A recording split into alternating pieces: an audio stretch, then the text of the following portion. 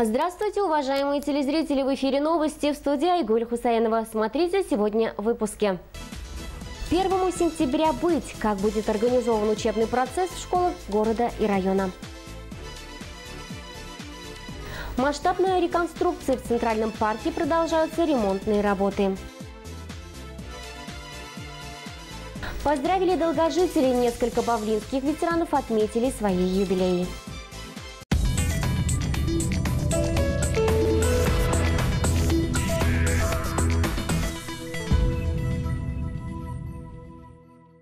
Парке Победы и трудовой славы нашего города продолжаются строительно-монтажные работы. В этом году это самый масштабный в районе проект по благоустройству. Подробнее далее. Ильяс Исмагилович, расскажите, какие работы ведутся в данное время в парке? Ну, продолжается работа по строительно-монтажным, так сказать. Вот, э, если видно, сейчас вот мы перекопали, э, укладывается э, электрические линии, то есть для освещения завершились работы э, по устройству тротуара, велодорожки. Э, с вчерашнего дня начали, как говорится, уже стелить асфальт для велодорожек. Оплатили, подрядчик оплатил брусчатку из трех цветов. Надо сказать, что это будет 14 тысяч квадратных метров. И если в масштабе представить, это больше 100 фур будут только возить брусчатку сюда в город. Это с Московской области, Самарской области, Э, часть уже привезли темного цвета. Сначала вот с парка, где вот мы в прошлый раз с вами снимали начало строительства, вот они с этого места начнут. И вот мы как раз сейчас подойдем к перекрестку, так сказать, к экватору. Если вот мы стоим сейчас на э, федеральном проекте, так сказать, через дорогу переходим, это уже наш республиканский, который мы должны завершить к октябрю месяц. Ну, задачу, конечно, мы перед строителями поставили ускорить, то есть и планируем ее, э, ну, если погода все позволит, то есть мы хотим немножко быстрее завершить. Все-таки для района у нас э, юбилейный год. Хотели, пока погодный условия позволяют, какие-то мероприятия провести. Если, конечно же, еще и пандемия нам это даст. Поэтому пока у нас все по плану. По федеральному проекту торги завершены, сейчас полным ходом идет работа. Военную технику спустили с постаментов. В данное время идет покраска, реконструкция. Возле Вечного огня будут еще пять единиц техники. Будет небольшой мемориальный комплекс. В ходе работ э, проект не изменился? В ходе работ проект не изменился, если только где-то мы, допустим, деревья обошли, немножко там э, повороты по безопасности мы э, убрали некоторые пешеходные переходы, которые совместно с ГИБДД, где мы проехали, все-таки э, парк должен быть безопасный, во-первых, для людей, особенно для детей, потому что это будет излюбленным местом, э, тем более, если это будут велодорожки, чтобы, не дай бог, не съехали э, в небезопасном месте. Меняли возле, так сказать, нашей Бавлинской нефти. Там мы два пешеходных перехода убрали, то есть совместно с ГИБДД мы посмотрели безопасность еще этого парка. Если позволят погодные условия, планируют закончить благоустройство парка в сроки. Выжидаем, смотрим погоду и пытаемся ускорить процесс. Пока у нас это получается, надеюсь, э, наши планы, как говорится, сбудутся. Надеемся, увидеть горожане, что получится, смогут совсем скоро. Айгуль Хусайнова, Артем Артемьев, Бавлинское телевидение. Совсем скоро наступит 1 сентября. Некоторые города России отменили праздничную линейку. Как встретит учебный год бавлинские школьники? Об этом в нашем следующем материале. На протяжении многих лет 1 сентября празднуется День знаний. Остались считанные дни до праздничного момента для родителей и их детей, школьников. Наконец, снова или в первый раз в школу. В связи с пандемией долгое время было неизвестно, как же пройдет первый учебный день в этом году. Бавлы-информ обратился за комментарием к руководителю отдела образования Бавлинского района Дарине Ганиевой. Здравствуйте. Хотелось бы вам задать э, несколько актуальных вопросов на сегодняшний день. А, которые интересуют наших родителей, детей. Вот первый вопрос. А, будет ли линейка в этом году? А, здравствуйте. Конечно, 1 сентября у нас ожидается линейка. Линейку проводить мы будем на территории школы, то есть на открытом воздухе, с соблюдением социальной дистанции. Поэтому здесь, думаю, все нормально будет. А как будет организован учебный процесс с 1 сентября в школах э, города и района? А, прием детей по классам у нас будет организован по графику, то есть а, приходить в школу и уходить из школы они будут по определенному времени. Уроки у нас, скорее всего, будут начинаться в одно и то же время, а перемены мы также делим для того, чтобы дети, не смешиваясь, а, каждый отдельно могли садиться пообедать в столовую, то есть отдельно классы. А, классы у нас будут сидеть э, в своих кабинетах, то есть они, в принципе, из кабинета выходить не будут, у нас будут только а, меняться учителя, и также будет обеспечен режим проветривания в кабинетах, влажная уборка и будут соблюдены все требования Роспотребнадзора. А вот как будут проходить уроки физкультуры, например? А, уроки физкультуры будут проходить у нас э, в спортзале. В принципе, площадь спортзала позволяет э, вместить туда один класс. Э, также зал будет проветриваться. У нас и до этого никогда не было совмещенных уроков физкультуры. У нас зал представляется на один класс комплект. Дарина Зайтудовна, есть еще одна такая информация, что первые, четвертые, девятые и одиннадцатые классы э, будут учиться очно, а все остальные дистанционно. Так ли это? Э, на сегодняшний день могу сказать, что э, все классы планируют учиться очно. При поступлении другой информации мы будем пересматривать график обучения. А как будет организовано питание? А, в столовую дети будут ходить по классам, то есть тоже будет составлен определенный график. А, если площадь э, столовой позволяет посадить два класса, то при соблюдении социальной дистанции, то будет рассадка на два класса. Если площадь не позволяет, то у нас будет только один класс в столовой. И получается по графику также будут дети посещать. А, посуда у нас будет обрабатываться, то есть а, посуда должна мыться, она также должна дезинфицироваться. А учителя будут ходить э, в классах в маске, да? А, а дети? Учителя будут э, преподавать, э, да, в масках, но когда они будут работать фронтально с классом, то есть когда они не будут подходить к детям слишком близко, они, в принципе, могут и снять маску. Если же учителю необходимо будет подойти к ребенку на э, дистанцию поближе, то, естественно, ему следует будет надеть маску. Такой вопрос, а учителя будут сдавать анализ на ковид? Есть ли на это финансирование? А, вы меня этим вопросом немножко застали врасплох, конечно. А, а, соответственно, мы учителей всех будем проверять на контактность, то есть не стоят ли они у нас в учете в Роспотребнадзоре или в больнице. Также мы будем проверять на не было ли у них контакта с теми людьми, которые стоят на учете. Спасибо вам огромное. Спасибо. До свидания. Всего доброго, до свидания. Совсем скоро детям дадут возможность отпраздновать возвращение к привычному режиму учебы. Айгуль Хусайнова Эмиль Байрамов, Бавлинское телевидение. Сегодня состоялось очередное аппаратное совещание, в ходе которого руководителями были рассмотрены самые актуальные темы и подведены итоги прошлой недели. Очередное аппаратное совещание прошло в режиме онлайн. Руководители различных организаций доложили об итогах своей работы. По линии МЧС выступил руководитель Балюнского подразделения МЧС Ильдар Галиев. В микрорайоне города Бавлы сегодня утром сгорела иномарка. В 3 часа утра в МЧС Бавлинского подразделения поступил звонок о горении автомобиля во дворе дома по адресу улицы Сайдашева, дом 19.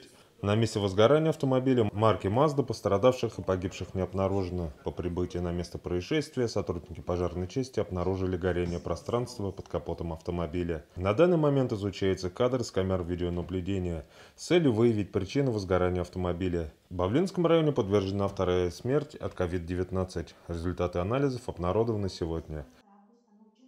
Об этом в ходе совещания сообщила ведущий специалист-эксперт территориального отдела управления Роспотребнадзора по Республике Татарстан в Бугульминском, Азнакаевском, Бавлинском и Ютазинском районах Айгуль Сабитова.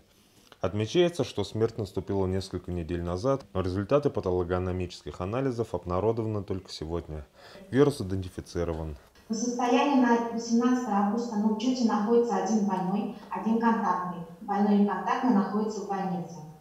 Межмуниципальном отделе по Бавлинскому и Тазинскому районам управления Федеральной службы государственной регистрации назначен новый руководитель. На должность начальника межмуниципального отдела по Бавлинскому и Тазинскому районам управления Федеральной службы государственной регистрации назначена Светлана Ушакова, 1974 года рождения. Уроженка поселка Палама Горьковской области Светлана Лукбеговна с 2001 года работала в управлении ПФР по городу Бавлы, Бавлинскому и Тазинскому районам Республики Татарстан. Имеет государственную награду «Ветеран труда». Евгений Ливанов и Ильмир Байрамов, БРТ. В Татарстане отменили обязательное ношение перчаток, но масочный режим в республике остается. 17 августа в Татарстане отменяется обязательное ношение перчаток. Об этом было заявлено на совещании в Доме правительства в Казани. При этом ношение масок остается в силе. Перчатки можно не носить в тех местах, где есть антисептики для рук. 17 августа при условии заполнения не более чем на 50% допускается работа театров, кинотеатров, цирка, концертных залов, аквапарков. Разрешены различные мероприятия в закрытых помещениях с одновременным присутствием не более 50 человек. А на открытых площадках допустимое число участников увеличено с 50 до 100 человек – Увеличим предел заполнения трибун на спортивных мероприятиях с 10% до 25%. Объектам общепита разрешили проведение банкетов в помещениях не более чем на 50 человек. Ранее подобные торжества допускались только на верандах.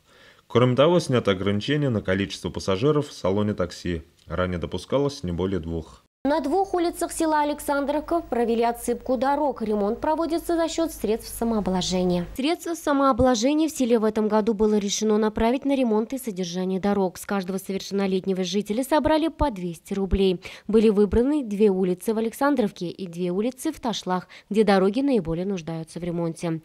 По словам главы Александровского сельского поселения Валентины Уваровой, в этом году отсыпали часть дорог на улицах Школьная и Буртовая села Александровка. На средства самообложения в этом году начались работы по обсыпке дорог. Пока у нас только начальная стадия, обсыпали щебнем, разровняли, потом обсыпали гравием, ПГС, тоже пока разровняли, вот ждем каток. Еще работы не завершены, продолжаются.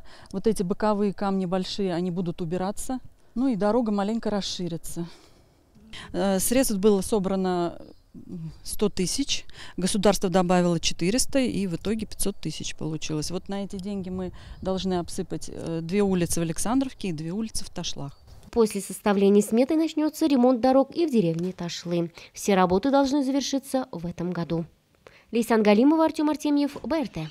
Август богат на церковные праздники. В этом месяце православные отмечают три спаса – медовый, яблочный и ореховый. Кроме того, в августе празднуется Успение Пресвятой Богородицы. Подробнее об этом в нашем следующем сюжете. Благословен Бог наш и приснах и во веки веков. Аминь. Храм Серафима Саровского в настоящее время работает в обычном режиме с соблюдением всех санитарно-эпидемиологических требований. Все необходимые службы проводятся, но прихожан духовного учреждения стало заметно меньше.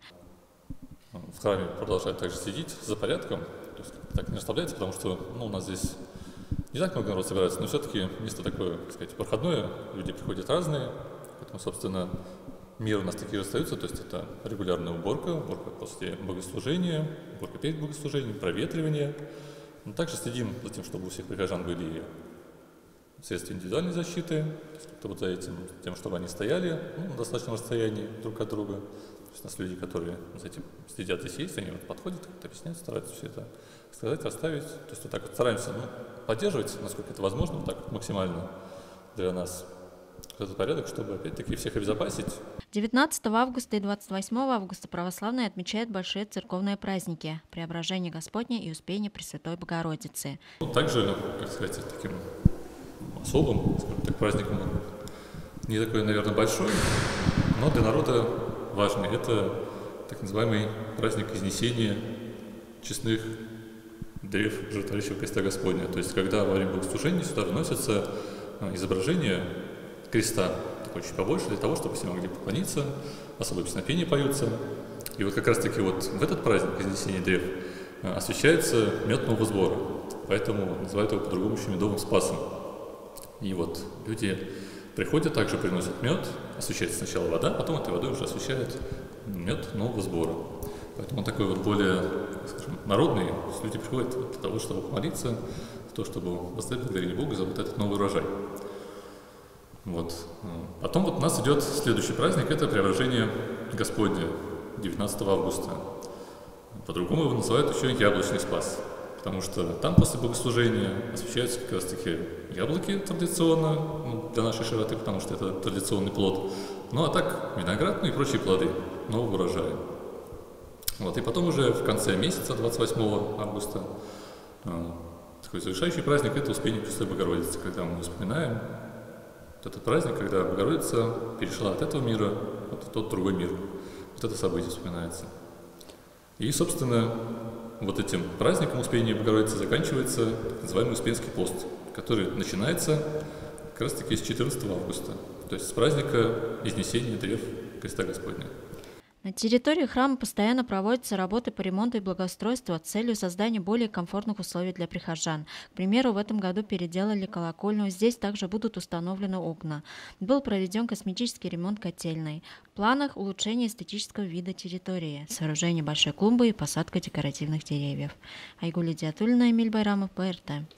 Ежегодно в Россию приезжают тысячи иностранных граждан. Одни задерживаются всего на пару-тройку месяцев, а другие остаются навсегда. В этом году гражданство Российской Федерации в Бавлинском районе получили 14 иностранных граждан. Как адаптируются они к новым условиям жизни, скучают ли по родине и как устроен их быт? Об этом и о многом другом расскажет семья Карапетян. Они приехали из Армении. Семья Карапетян большой семьей живут в Бавлах более семи лет. Когда в одном доме живут три поколения, в Армении не редкость, так принято испокон веков, а армяне чтят традиции. Обычно молодая девушка приходит в дом своего мужа и живет со свекрами. Хотя бывают случаи, когда молодой человек приходит в дом жены, но так случается нечасто. Так принято у нас. Угу. Большинство так живут. Плюс и много есть. И с родителями как-то ты своб... этот и свободно, и спокойно. Дети под этим смотром. Да. Помогают тоже. Вот для кого работают вот родители? Для наших детей. Угу. Уважение надо, наверное, чуть-чуть взрослым. Много чего от них надо Первым в 1993 году в Бавлы приехал глава семьи Андраник Карапетян. Тогда он работал строителем, и ему приходилось жить далеко от своей жены и детей. В 2013 году он решает перевести в Бавлы всю семью. Первое время вся большая семья снимает квартиру, а в 2015 году они покупают участок земли в северо-западной части города и строят дом. Тогда же начинают обустраивать и приусадебный участок. К слову, он у семьи Карапетян очень ухоженный и красивый. Сразу перед домом, как открываешь калитку, роскошная цветочная клумба, а возле дома разбит небольшой огород. Чего тут только нет – овощи, бобовые культуры, плодовые деревья и разнообразная зелень. В этой семье не привыкли сидеть без дела, трудятся абсолютно все. Почти каждый рабочий день у мужчин в этой семье заканчивается после 7 часов вечера. Трудятся и женщины, кто по хозяйству, а кто по профессии. К примеру, Цагик работает поваром в детском саду Белякеч. Признается, готовить любит с детства, поэтому делает это с удовольствием как на работе, так и дома. А вечером, когда переделаны все дела, семья любит собираться за большим столом, летом особенно, ведь тогда можно накрыть стол под открытым небом на свежем воздухе. Тогда семья пьет кофе со сладостями, либо в сезон ягод ест арбузы. В это время все общаются между собой на родном армянском языке, делятся новостями, рассказывают о том, что произошло за день. Особенно ценны для них моменты, когда в гости приходят родственники. Порой за одним столом могут собраться более 50 человек. Конечно, по Армении в этой семье скучают, а как же не скучать по родине? но признаются, что Бавлы смогли стать для них вторым домом. Здесь они чувствуют себя комфортно. Айгуль Габдрафикова, Эмиль Байрамов, БРТ. В кругу самых близких людей свой 85-летний юбилей встретил почетный гражданин Бавлинского района, заслуженный юрист Республики Татарстан Мухтар Авзалович Авзалов. Поздравили юбиляра руководство района и представители Бавлинского суда. Подробнее далее. Мухтар Авзалович с супругой Венеры Галимуловны душевно встретили гостей прямо у калитки своего дома. Мухтар Авзалович многие годы проработал в Бавлинском городском суде, сначала судьей, а затем с декабря 1970 года до апреле 1996 года его председателем. В 1995 году Мухтару Авзалову было присвоено звание заслуженного юриста Республики Татарстан. Осуществляя правосудие на протяжении многих лет, Мухтар Авзалович внес большой вклад в укрепление авторитета судебной власти. Для многих жителей района его имя связано со словом «справедливость». До сих пор среди населения он пользуется уважением и почетом. Поздравили юбиляра руководство района и нынешний председатель Бавлинского городского суда Артур Зинуров.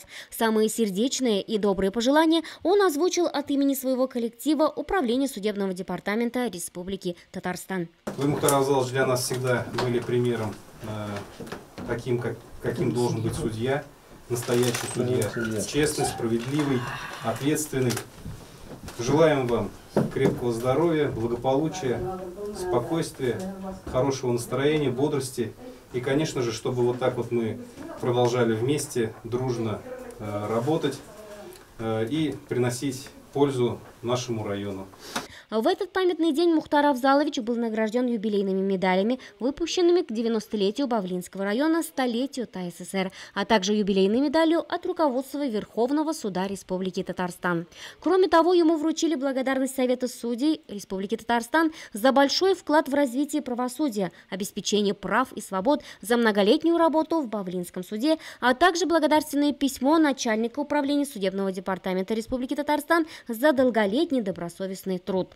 Несмотря на почтенный возраст, Мухтар Авзалович продолжает принимать активное участие в жизни района и горсуда. Он является участником различных республиканских конкурсов и спортивных мероприятий, проводимых судейским сообществом. Кроме того, Мухтар Авзалович – заятлый рыбак. С супругой Венеры Галимоловны юбиляр живет многие годы в любви и согласии. В этот день телефонные звонки в доме нашего героя не молкали. Многие спешили поздравить уважаемого человека с днем рождения. «Для меня сегодня самый счастливый день. Этот день я заслужил своим трудом», сказал Мухтар Авзалов. Айгуль Хусейнова, Эмиль Байрамов, Бавлинское телевидение. На сегодня мы завершаем свой эфир 20 августа в 19.00. Не забудьте посмотреть новости на татарском языке. Далее вас ждет прогноз погоды. Всего хорошего и до новых встреч! Среду 19 августа малооблачно, небольшой дождь. Температура воздуха ночью 10, днем 16 градусов тепла. Ветер северо-западный 6 метров в секунду. Атмосферное давление составит 734 миллиметра ртутного столба. Относительная влажность воздуха 50%. Четверг 20 августа малооблачно, небольшой дождь. Температура воздуха ночью 9, днем 16 градусов тепла. Ветер северо-западный 5 метров в секунду. Атмосферное давление составит 736 6 мм ртутного столба. Относительная влажность воздуха 58%.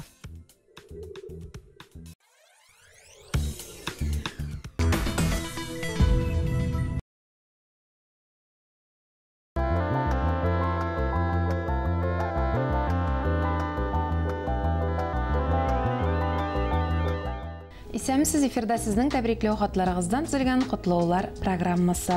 Баулы телевидениесенә килеп ирешкән котлау хаты алтын юбилей уңаеннан булып, Гайнетдиновлар гаиләсенә юл ала. Гайнетдинова Ландыш Әнвәр кызын якыннары 50 яше белән тәбрик итәләр. Хат авторлар үзләренең изге дә, матур да теләк бәйләмен юбилярга ирештерәләр.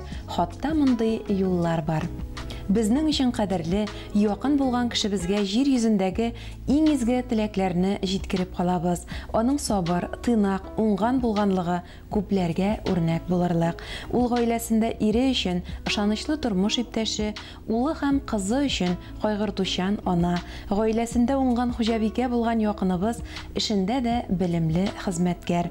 Ул 30 елга якын нефть һәм газ чыгару идарәсендә нефть өлкәсендә эшли, үз эшенең остасы булган Ланыш Таш Әнвәр кызын эшендә дә яраталар.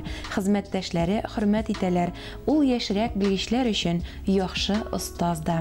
Кадерлебез, сиңа киләчәк көннәреңдә дә эшеңдә һәм тормышыңда уңышлар, гаилә бәхете, парлы тормыш, балалар шатлыгы, алдагы көннәрдә оныклар сөяргә дә язсын дип телибез. Бүгенге кебек үк барлык туганнарга карата ярдәмчел, мәрхәмәтле, туган җанлы, ачык һәм изге күңелле булып кал. Без сине яратабыз һәм хөрмәт итәбез.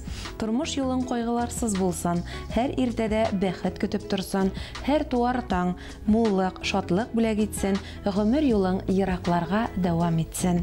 Сокланырлык үткәннәрең, алдамаса иде көткәннәрең, бүгенгең дә синең матур булсын, көләч йөзең һәр чак балкып торсын. Иң изге теләкләр белән әнисе Әлфия, апалары Люция һәм Гөлнара, сеңлесе Алия диелгән иде котлау хатында. Хөрмәтле Ландыш ханым, без дә сезнең якыннарыгызның изге теләкләренә чын күңелдән кушылабыз. Юбилейгыз котлы булсын.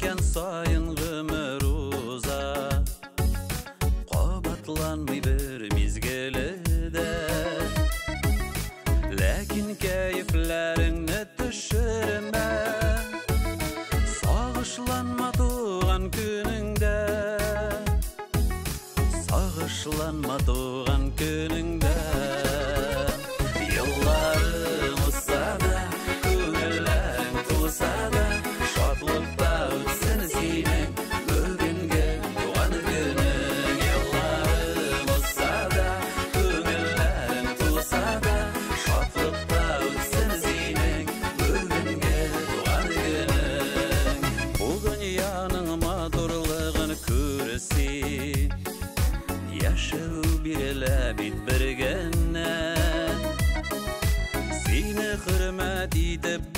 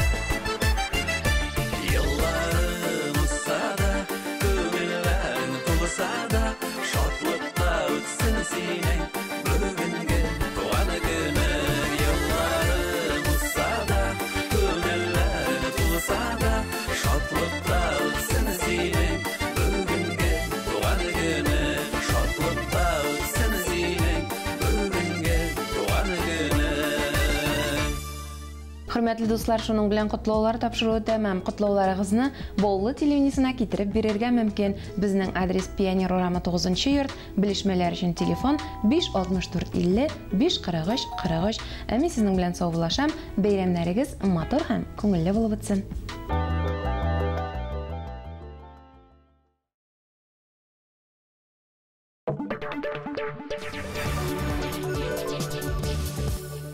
Внимание! 21 августа в пятницу и 22 августа в субботу в торговом центре здания ДНС состоится грандиозная выставка продажи казанских шуб. Акция «Обменяем старое на новое» и получи скидку. Ждем вас по адресу улица Пионерская, 11 с 9 до 18 часов. Внимание! 21 августа в пятницу и 22 августа в субботу в торговом центре здания ДНС состоится грандиозная выставка продажи казанских шуб. Акция «Обменяем старое на новое» и «Получи скидку». Ждем вас по адресу улицы Пионерская, 11 с 9 до 18 часов. Thank you.